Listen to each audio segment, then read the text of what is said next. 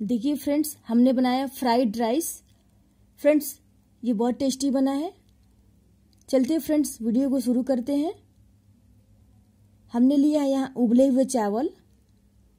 एक चम्मच चना दाल, स्वादानुसार नमक, चार चम्मच तेल लिया है, दो चम्मच मूंगफली लिया है, चार चम्मच टमाटो सॉस लिया है, दो चम्मच चिली सॉस लिया है आधी चम्मच धनिया पाउडर, एक चौथाई चम्मच जीरा पाउडर, एक चौथाई चम्मच गोल मिर्च पाउडर, आधी चम्मच हल्दी पाउडर।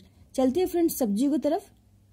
हमने लिया है दो गाजर बारीक कटा हुआ, दो लहसुन की कली बारीक कटा हुआ, दो हरी मिर्च बारीक कटा हुआ, एक प्याज लिया है बारीक कटा हुआ, एक शिमला मिर्च लिया है बारीक कटा हुआ। फ्रेंड्स हमने यहाँ चार चम्मच तेल लिया है। तेल हमारा गर्म हो रहा है।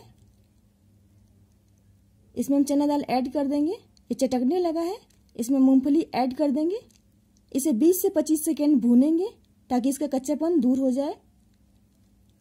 20 से 25 सेकेंड हो गया, इसमें हम बारीक कटी हुई लहसुन ऐड कर देंगे।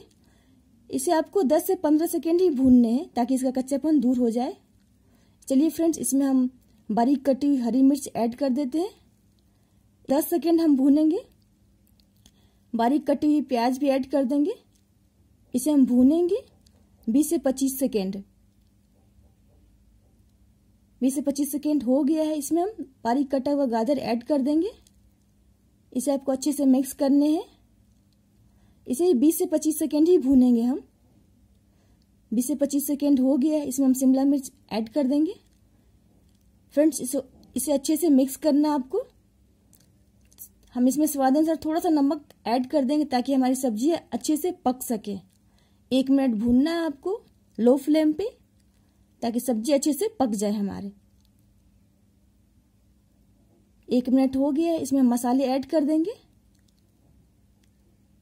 इसे एक से डेढ़ मिनट भूनना है आपको, जो मसाले हैं और सब्ज़ी अच्छे से पक जाए।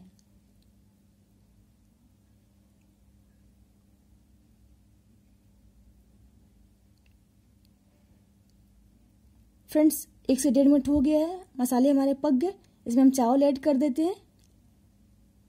इसे अच्छे से मिक्स करना आपको चावल को। इसे एक से डेढ़ मिनट भूनने आपको। एक मिनट हो गए इसमें हम स्वाद अनुसार नमक ऐड कर देते हैं। फ्रेंड्स, आपको ध्यान रखना है, हमने सब्ज़ी पकाने के लिए भी नमक लिया, उसी के अकॉर्डिंग आपको नमक ऐड करना है। इसे मिक्स करिए अच्छे से। चलिए फ्रेंड दो चम्मच हम चिली सॉस इसमें ऐड कर देते हैं। इसे हम अच्छे से मिक्स कर लेंगे।